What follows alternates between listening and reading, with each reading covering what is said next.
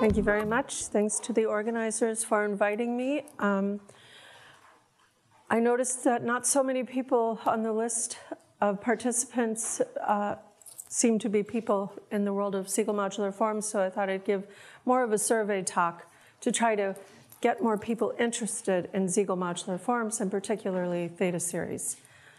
Um, so, the title of the conference has geometric in it somewhere, so here's my little blurb on why this is geometry. We put a, take my uh, Z lattice um, with a positive definite quadratic form, and I think about that as either capturing or imposing geometry on the lattice, depending on your point of view.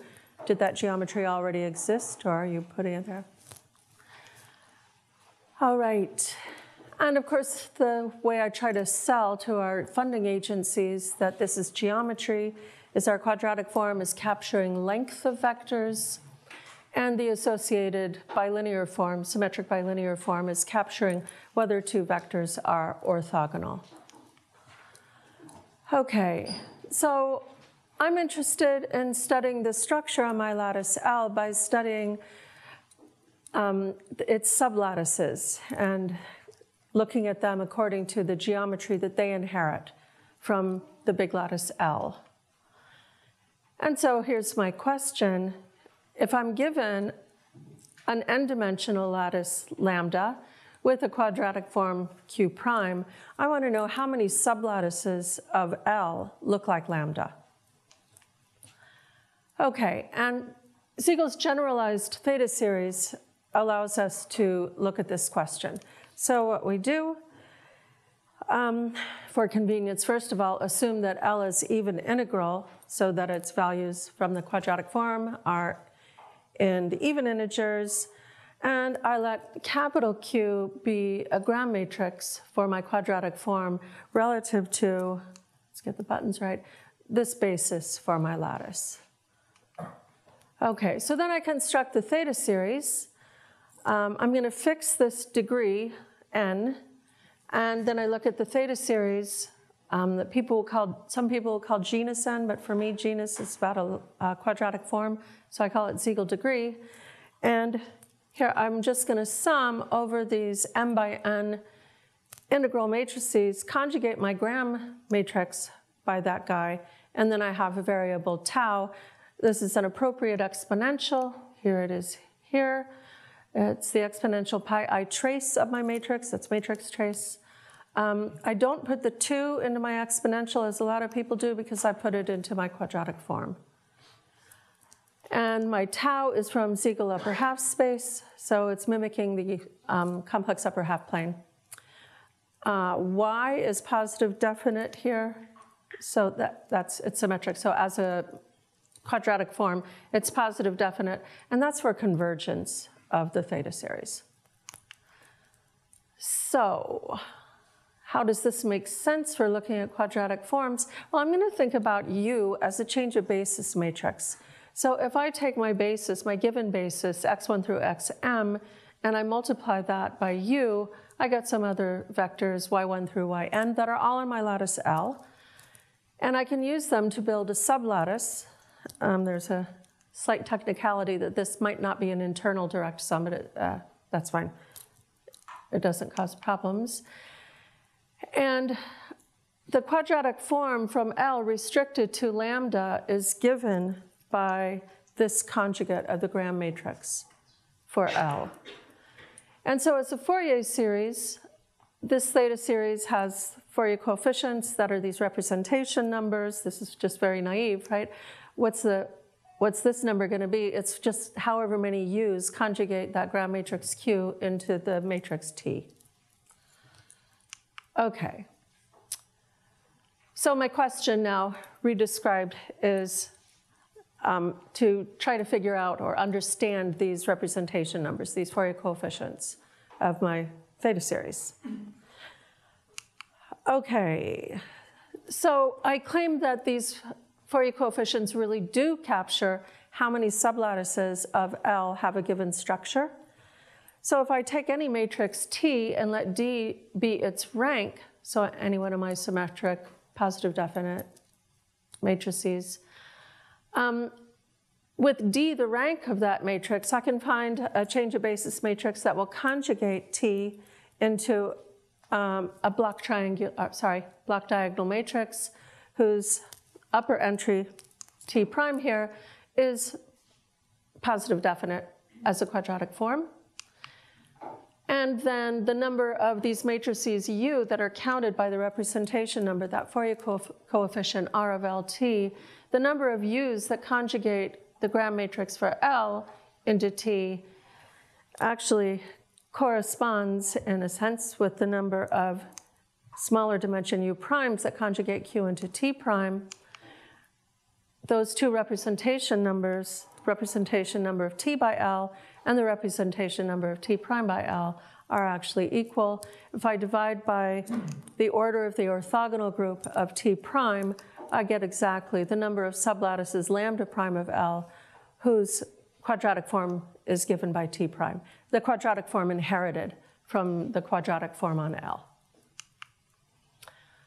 Okay, now this theta series is a prototypical example of a Siegel modular form, and Siegel wanted to study these quadratic forms and their, um, their representation numbers. What does it mean to be a Siegel modular form? Well, first of all, it's analytic in all the variables of tau, and it transforms under a complex, or, sorry, a congruent subgroup of the symplectic group. So this is just the natural extension of what we do for classical modular forms. I take all my matrices, I look at all the matrices in um, SPNZ, which are in SL2NZ, and what I need, right, to just be in the symplectic group are all these symmetric conditions, and that A transpose D minus B transpose C is the identity. And how do we get that my theta series is actually a modular form for a subgroup of SP and Z? Well, first of all, we have an inversion formula, and this is one of my favorite proofs. Um, you look at this for the the classical theta function, which I've written here. And the way we prove the inversion formula is we introduce a new variable. We do Fourier analysis or Poisson summation on the new variable, and then we set it equal to zero. I think that's just a lovely trick. And this ends up giving us a relation between the classical theta series at tau and um, at minus 1 over 4 tau. And so this is my homage to Poisson summation for the theta function. okay. So this technique for proving an inversion formula extends for getting an inversion formula for my more generalized theta series. And we use that twice to get the transformation formula. Now, actually, in that previous formula for the classical theta function, the relation was between theta of tau and theta of minus 1 over 4 tau, it's really because this inversion formula is giving you a relation between the theta series on your lattice and the theta series on the dual lattice. Okay, so in proving the transformation formula, we use that twice, and we get, um, should be right there, yes, good. We get this equation, but it's for these matrices that come out of, where's my dot? there it is, come out of gamma naught of n, where n, my level, divides this block C. And what's n? It's the smallest positive integer so that n times q inverse is even integral. Now remember, q inverse is going to be the gram matrix for the quadratic form on our dual lattice. And so this level is measuring some, something like the distance. If you think about it locally, it makes more sense, I think. Um, it's measuring somehow the distance between L and its dual. Okay, so we get this nice transformation formula. This is um, a sort of obvious generalization if you were just to guess something to write down if you know transformation formula in the more classical case.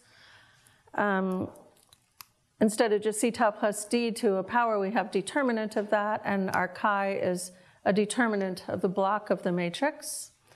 Chi here is a Dirichlet character modulo the level. We can describe it explicitly. It's a Legendre symbol. It's different depending on whether m is even or odd.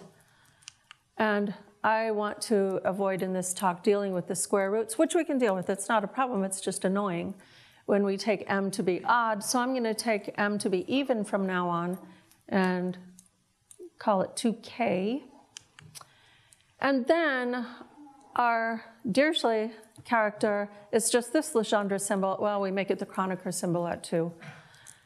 And at p, what it's measuring for us is whether so p not dividing the level, it's measuring whether our lattice locally is hyperbolic. And even at 2, that's, it's the same thing, that because I've insisted my lattice is even integral, Locally at 2, there are only two possible structures when 2 does not divide the level. Okay. All right. So big deal. How does this help? All I've done is take this information that I want to understand and call it a Fourier coefficient. Okay, well, we have Hecke operators that act on our theta series. Yay. So to talk about these theta series, I want to back up and look at Siegel modular forms more generally integral weight still. And for every prime p, we've got n plus 1 Hecke operators generating our local Hecke algebra. N of them are algebraically independent. Um, there's a general construction. I don't like looking at double cosets in particular for doing computations. Um, so instead of looking at the double coset to construct each one of these Hecke operators, uh, which I'll just for here call T, what I do is I sum over gamma these representatives for this uh, coset set, or coset space, and I have f slash delta inverse. Delta is determined by my choice of Hecke operator, and I'll show you in a moment. Before, but before cluttering my slide more, let me look at this. Um, so I follow delta inverse by this collection of gammas that are giving us representatives for that quotient. Um, how do I choose delta? Well, if I'm looking at the Hecke operator T of P, I just take delta to be P times the identity matrix, followed by the identity matrix on the diagonal there. So that's kind of the obvious generalization of what you would do from the classical case. And then we've got these tj of p squareds as well. I can take j going from 1 to n and look at these diagonal matrices, so they're kind of liftings of P, 1 over P that you might think of in the more classical case. Okay, um, we can write any one of these T sub j of P squareds in terms of the rest of those Hecke operators. That's how the algebraic relation goes. It's very explicit. So years ago, when I just started working on Siegel modular forms, um, I wanted to know what the Hecke operators did, and I got really frustrated looking at the literature because they don't tell me anything explicit enough. And so I got Jim Hafner to work with me because he's smart and he's patient with me. Um, and so we figured out um, how to get a set, an explicit set of matrix representatives to give us the action of the Hecke operators so that I can actually do computations in my sense, which is, you know, pen and paper. I'm not fancy like a lot of you people here. So our set of representatives are parametrized by lattices, so we realized it was convenient to first rewrite our Fourier series instead of as series supported on matrices, to write them as series supported on lattices. So we notice, first of all, that if we take any GLN matrix, G inverse transpose G is an element of the symplectic group, and so it'll also be in any one of those congruent subgroups, since it has zero as a block there. And so the, the relation on our our Siegel modular form gives us that f of tau times chi of determinant of g is f of this conjugate of tau by g inverse times the determinant of g to the k.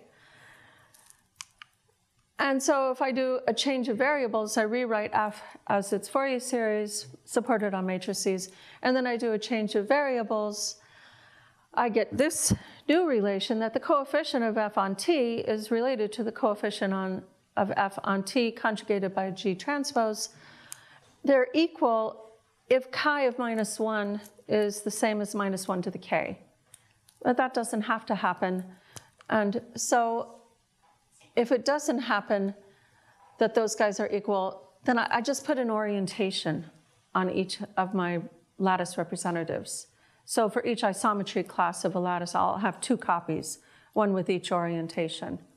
Okay, not harmful at all in, in doing my computations. So then I can write my, my Siegel modular form as supported on these isometry classes of lattices. Now my exponential, so I have just shorthand. What's my exponential going to do? Well, this is representing the sum over all those conjugates of t, where t is a matrix for the quadratic form on my lattice lambda. And depending on whether I had to put an orientation on that lattice or not, changes what g runs over. If I don't need an orientation, then I just have g run over glnz modulo the orthogonal group of t or of the lambda sub t, um, so that I don't repeat the Gram matrices giving the quadratic form on lambda. And if I have an orientation, then I just run over SLNZ modulo the O plus, which are the intersection of the orthogonal group with SLNZ. Okay, groovy. So then we finally prove our theorem. Stuff in gray is what I don't want you to stress about. Um, so we found that the lambdith coefficient of f slash t of p is given by this sum, where I'm going to sum over omega running between p lambda and lambda.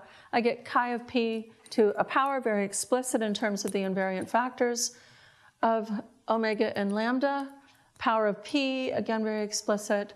And then the coefficient of f on lambda scaled by 1 over p. So, sorry, on omega scaled by 1 over p. And all these omegas in the sum have to be, uh, when scaled by 1 over p, they have to be even integral. The other way of capturing this is that our Fourier coefficient on anyone who's not even integral is 0. We could just define that. Okay. So we can do the same sort of thing for looking at tj of p squared on the Fourier coefficients, um, but we encounter an incomplete character sum. Okay, so we're number theorists. We're not afraid of incomplete character sums. We know how to evaluate them, but if we can replace them with a complete character sum, why not? That's prettier. So what we did is we just smoothed these Hecke operators so that what we get, our TJ tildes, they generate the same local algebra. So we just smooth them so that we can complete our character sums and here in the, the sum defining TJ tilde, this beta guy is just a very friendly little operator. It's the number of r-dimensional subspaces of an m-dimensional space over Z mod P. And yes, as I said, these guys generate the same Hecke algebra as the TJs. But now we've got a nicer formula for their action on the Fourier coefficients of our Siegel modular form. We get, now we're going to sum over omegas lying between p lambda and 1 over p lambda. We get chi of a power of p, p to a power, and the coefficient of f on omega, except now we've got this extra thing that comes from our character sum. And what it measures is something about, as Jim liked to describe it, it gives us some geometric information about omega and lambda. Um, it's about the part where they overlap with um, invariant factors of one. And so it's measuring totally isotropic codimension n minus j subspaces of that piece. The total, we got the totally isotropic because we completed the character sums. Okay, now how does this help us understand theta series, um, well, Right, I'm not wearing my spectacles, so got a little scared there. Yes, for P not dividing the level, I'm going to directly apply these matrices to my theta series. Um, I don't expect to get a nice result if I take P dividing the level. It doesn't happen classically. I'm not going to expect it happens in, more, in a more generalized situation. So I'm going to look here at one of the trickier ones, T sub j of P squared, sorry, T sub j tilde. So I just apply my matrices that represent my Hecke operator directly to my theta series, and I get this kind of sum. My theta series is a sum over these lambdas in L, and then my inner sum is over these omegas sitting between p lambda and 1 over p lambda, which are all integral. And then I just do another favorite mathematician trick, because I uh, reverse the order of summation. And now what I'm looking at are these omegas lying in 1 over PL, and lambda lies between P omega and this guy delta, who's just the intersection of 1 over P omega and L. Okay. So now to figure out, let me go back, what I want to do is I want to evaluate this inner sum, and I want to do it really explicitly. So I'm going to construct all of these lambdas. Now, the lambda lies between 1 over p omega and p omega. So a priori, you thought, well, might have to work mod p squared, and that, that's not so fun because mod p squared, I don't get to use all this nice quadratic forms theory. So what I do is I fix one of my omegas that's in my now my outer sum, and I decompose it in terms of how it looks sitting inside of L. So I decompose it as this 1 over p omega naught plus omega 1 plus p omega 2, where omega naught, omega 1 are what I call primitive in L. So if I intersect them with PL, I get P times them. Okay. So then I'm going to use a two-step mod P construction to construct all of these L's, and I'm going to count how many ways I'm constructing something, and I'm going to count that, that quantity that's captured by that, that guy called, that I called alpha, that's capturing that geometric information. Um, I need to keep track of the invariant factors of omega in lambda and this alpha guy. So step one, so in my boxes, I'm always reminding you of stuff from previous slides. So in step one, I first work with delta mod p delta, and I'm going to look at the image of omega naught plus omega 1, and I can capture that information from global information. And otherwise, that's illegal for me to say I can use. So uh, that's captured by looking at the image of omega intersect delta. So I extend that by this guy, delta 2, and how I do that, well, it's just going to depend on J and what I want the invariant factors of lambda and omega to be. So that's not a hard count. And now I take delta prime to be the preimage of that guy in delta. And now I work in delta prime mod p. So again, I'm working with a quadratic form over a finite field. So life is good. And now I extend the image of omega naught to this image of what will be lambda. And I do that in several steps so that I can be counting, but it's not that hard. Well, get the steps in order to count correctly and not overcount. Um, but it's all just using the theory of quadratic forms over finite fields. Okay. And so in the end, I get this, uh, this description of the image of my theta series under this Hecke operator. And it's got this coefficient here in green, and it's explicitly described by a double sum. Okay, it doesn't really seem like I've done anything except make myself do a lot of work. But now I compare that to the sum of theta series attached to these neighbor lattices, p to the j neighbors, I call them. Um, so those guys are going to be in the same genus as L. They're going to have invariant factors of j p's, j 1 over p's, and the rest ones. Okay, and so I'm restricted here. J has to be less than or equal to K for this to work. And actually, J has to be less than K if chi of P is minus one. In other words, if L mod P is not hyperbolic. I won't be able to construct any guys meeting these conditions. Okay, so I construct all of those K sub J's, and I count how many times one of these lattices omega and 1 over p, that's integral, actually even integral. I count all of those guys and I get some coefficient that's actually not too horrible looking. And now I want to compare. And I'm hoping I get the same thing because in the classical case, if I were working in uh, Siegel degree one, that would be true. Okay, well, it starts off being true. If I look at a kj, or sorry, I look at an omega who's in one of these kj's, but not in any of those kj minus i's, with i positive, then my coefficients on both sides here match up. So my coefficient, oops, ah, very much wrong button. Um, so my coefficient there and my coefficient there, they match up. But that's not the case when I look at these other omegas that are in my sum. And so what I have to do is a balancing act. And that's what I have here. So box. See, that's, that doesn't look so bad. I'm going to make another set of generators for my local Hecke algebra. Um, these guys, u sub i, they're not so bad, you know, little power of minus one, a p, and my friendly operator there. And then these guys are friendly things too. They're not so scary. And now I have this other thing that I need to do my balancing because this is what I get. If I replace my Hecke operator T sub j tilde with this guy T sub j prime, which involves these friendly guys U sub i, then the image of my theta series is this sum over these p to the j minus i neighbors as i varies from 0 to j.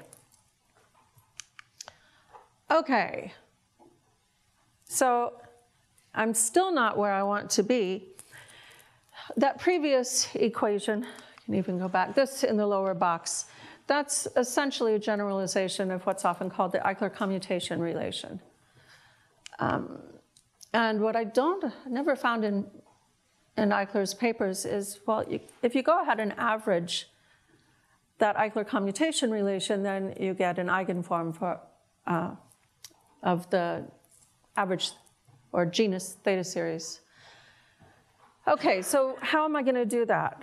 Well, I've got the sum and I've got the k's on the one side, and so I'm going to sort them. I'm going to sort them into isometry classes, and then I'm going to count. Okay, so the number of times one of these k's appears as one of these p to the, let's say p to the l neighbors of l, well, it's the number of isometries that take k into the right place with the right invariant factors, uh, but I'll have repetition, so I have to divide by the order of the orthogonal group of k. Um, and now I want to average over the isometry classes in the genus of L, Okay, so I've replaced my term that was counting the, uh, having sorted the k's into isometry classes. And in my formula for the image of the theta series, I had the theta series attached to these guys' k's, which is why it's appearing over there. And now here, I'm reflecting that I'm going to average over the isometry classes in the genus of L. I weight each isometry class by 1 over the order of its orthogonal group which makes sense if you think about it. So you're talk, thinking about, you know, how dense are these in the general vector space, general quadratic space. Okay, I again switch my order of summation. Um, I rearrange just how I'm writing these conditions to put L prime in the middle. And I've switched where I'm putting these orders of orthogonal groups. And now it's not hard to evaluate that inner sum. Again, I'm just going to be looking at k mod pk, but looking locally, it's the same as looking at L mod PL. And then I'm just counting. I'm counting things I'm counting hyperbolic space, totally, uh, totally isotropic spaces in a quadratic space over a finite field. That's not hard. So finally, I get my eigenformulation that says my average theta series, where here you can see I've averaged over the isometry classes in the genus of L. And my average theta series is an eigenform for these adjusted Hecke operators, Tj primes. And here are my eigenvalues. Power of p, not so bad. My friendly guy beta. And now what I have are things that should look kind of familiar to people who've ever worked with theta series or Eisenstein series in degree one. This is an eigenform we see for the classical theta function, uh, theta series. Um, when chi is one, and this, when chi is minus one, and you use tj, sorry, t of p squared. Okay, so those look nice, and what that does is it gives us explicit relations among our Fourier coefficients. So I'm putting together my formula for the action of the Hecke operators on Fourier coefficients and what I just got. Um, but it's very complicated. And so you can't just, I, I don't believe, you can just use this relation and some values of your Fourier coefficients to generate formulas for all your Fourier coefficients. Jim and I did it in degree two, but we could still only do it over an an averaged Fourier coefficient. Okay, so this formula up there had the restriction where j had to be less than or equal to k. And here in this theorem, I have the, the complementary j's. What happens to them when I can't construct these p to the j neighbors? Well, it turns out I get zero. So that made me happy because the same adjusted Hecke operator worked to give me that. So that also gives me some relations on these Fourier coefficients. Again, I don't know how to extract a lot of information out of that.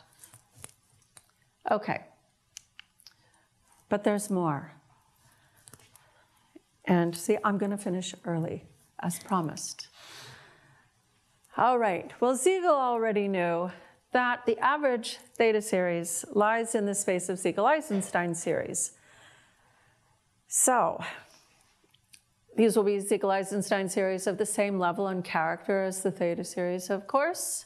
How do we define them? Well, I'm first going to define the stabilizer at infinity, gamma infinity, to be a set of symplectic matrices, lower left block being zero, and the idea is that for every element in this double quotient, SP and Z quotient on this side by gamma infinity, this side by gamma naught of n, every one of those guys has a Siegel-Eisenstein series attached to it. So some people will call these, in that double quotient, they'll call them the zero-dimensional cusps. Um, so what I want to do is take an element out of SP and Z. I'm going to look at it's gamma naught of, well, the gamma naught n orbit of gamma infinity times my representative little gamma. Write that as a union, a disjoint union using matrices delta, so that I have a union of gamma infinity, little gamma, little delta. Put those into an Eisenstein series, so I sum over the deltas. I'm putting in this conjugate of the character to force this guy to transform with that character and I have one of tau slash gamma delta, where one of tau slash a matrix ABCD means I'm looking at determinant of C tau plus D to the minus K. Okay, so in this way, I'm thinking I'm going to force this guy to transform with character chi, weight K, under gamma naught of n, but there's a problem. That sum might not be well defined. And that took me a long time to, to sort out properly, um, most because it made me mad, so I was fighting it. So what do we do? Well, we do what Don Zagier would tell us to do. We oversum. And by oversumming, everything is well defined, and what we find is that when the initial sum that I wrote down is not well defined, the oversum gives us zero which means there is no Siegel-Eisenstein series associated to that cusp. And we see this when we look at gamma naught of 4 in the classical case, right? the fundamental domain has three cusps, but the space of Eisenstein series has dimension two. Okay, so what else can we say? Right, when my level n is square free, life is a little bit easier. I can associate each gamma naught of n orbit. So I've got one Siegel-Eisenstein series for each of these gamma naught of n orbits within the symplectic group. Um, I can associate each one of these orbits with a multiplicative partitioning of my level, n. Um, and I'm not going to go deeply into that. So for a prime q dividing my component nd, well, that means that I've got a, a matrix representing this orbit that has order d at that prime. Okay, rank d. Um, okay, so what we get in this case is that when I look at just the Hecke operators T of Q, Q dividing the level, acting on my Eisenstein series, I have an eigenform, and for the TQ of Tj of Q squared also. And the eigenvalues here in absolute value, there are some characters here. It's explicit, but that doesn't matter right now. So these eigenvalues are just harmless power of Q, but what you get is multiplicity one, just by looking at the T of Q's acting on this basis of Eisenstein, Siegel-Eisenstein series. Okay. And for arbitrary level, so including square free level, I computed the action of the Hecke operators, all the Hecke operators on the basis of Eisenstein series, Siegel-Eisenstein series. Pardon? Um, integral and half integral. Does that make sense? Weight? Yeah, okay. Pardon? Oh, sorry, sorry. Good point. Good point. No, for the way I'm defining the Eis, sorry, I should have put this in there. Yeah, the way I'm defining the Eisenstein series, I need k to be greater than n plus 1, else I won't have convergence. Yeah, thank you. Okay. So now I want to look more generally. Um, did I skip? No, that's fine. What I now want to do is try to realize my average theta series explicitly in terms of these Eisenstein series. Um, knowing how the Eisenstein series behave under the Hecke operators isn't so much help as it turns out. And the hardest part of all of this is to find a set of representatives for these cusps.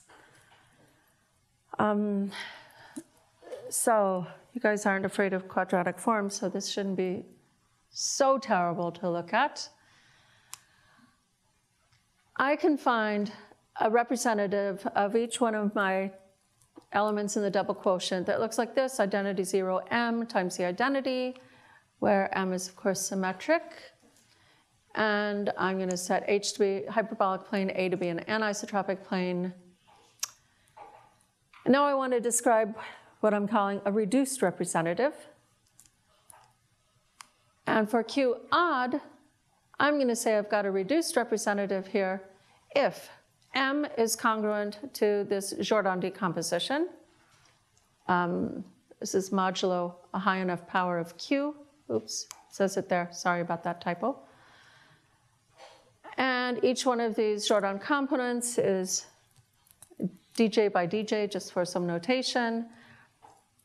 And then I have some technical things. For most of these Jordan components, I can insist that they look like a bunch of ones, so diagonal form, a bunch of ones, and either one or some fixed non-square that I have. Yes. Um, at the extreme ends, there or there, I might have to allow something more under conditions. Okay, that's not so bad to work with. Don't have to worry about much except that it's really explicit. Now at two, that's not so fun. If I'm looking at degree one, then it's not bad. I can describe exactly what's a complete set of reduced representatives so that I've got no repetition of the orbits, the gamma naught of n orbits. If two or four is the highest power of two that divides my level, then I'm still okay. But if eight divides my level, I can describe a set of representatives that include a complete set of representatives, but I'll have redundancy. And because the two-adic theory of quadratic forms is so painful, I didn't do any better. I, I spent a while on it, and then I just thought, oh God, I hate my life. Um, so if someone really likes the two-adic theory of quadratic forms, have at it, please. Okay, so then I extend this local definition of what's a reduced representative modulo power of a prime to a global definition, la la. Um, there, I'm confessing. Um, yeah, so there's the weakness that I just told you about. Okay. But we know some more about our Eisenstein series as well. I can figure out what they are at the cusps. So if I take my Eisenstein series and I hit it with um, the inverse of some matrix that doesn't come from its, the orbit it's supported on, and I take that limit as tau goes to I infinity, then I get zero. And if I take if I hit it with someone who's in the orbit, or the inverse is someone who's in its gamma naught of n orbit, then I get something non-zero. Yeah, the result's a little bit different if the level is two. Okay. So then what I'm going to do is just evaluate my average theta series at the cusps and figure out how to match that up with the Eisenstein series. And this involves evaluating generalized Gauss sums, which ends up not being so hard and being kind of fun, and then yay, I like my life again. And so this is my last theorem. Um, I take my generalized, or sorry, my average generalized Siegel theta series, and I can write it explicitly here as a sum of Siegel-Eisenstein series. So this M is going to vary, so I'm varying over a complete set of reduced representatives. Um, my coefficient here, well, it factors as product of primes. That's what I'm doing right there. And I can describe each one of these local factors. Often I'll just get one times the power of my prime. And otherwise, I get a power of the prime times a, a generalized Gauss sum, but it's not such a bad Gauss sum. It's only modulo q, and they're easy to describe. Did I do it? Yes, yay. So one of these guys that appears here will just reduce to be these Legendre symbols um, times a classical Gauss sum to a power. Now, another weakness in all of this is that, except for n equals 1, and very few cases for level bigger than 1, and Siegel degree bigger than 1, we don't have Fourier expansions for the Eisenstein series. So the way I evaluated the action on them was not by knowing anything about Fourier coefficients. So in the case of Siegel degree 1, we do have really nice Fourier coefficients for all our Eisenstein series, so we could get explicit formulas for our average representation numbers out of this. Um, for degree 2, trivial character, square free level, we've got explicit formulas for the Fourier coefficients. Otherwise, for arbitrary Siegel degree, we've got the Fourier coefficients for one Eisenstein series, the one of level one. And those formulas aren't very pretty either. There are various versions of them, but they're kind of awkward to work with, but you could still get explicit formulas. Um, but that's it.